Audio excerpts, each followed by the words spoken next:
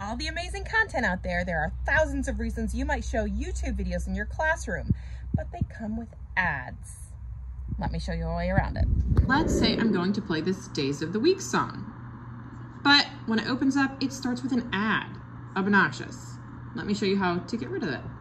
Now this won't work on every single video, but it will work on almost all of YouTube. You're gonna take your cursor and bring it up to the URL here, put it between the letter T and the letter U in tube, and just drop a dash in there, hit enter, and it brings you to a no cookie version of the video, meaning there are no ads. In longer videos, there will be no pop-up ads the entire length of the video.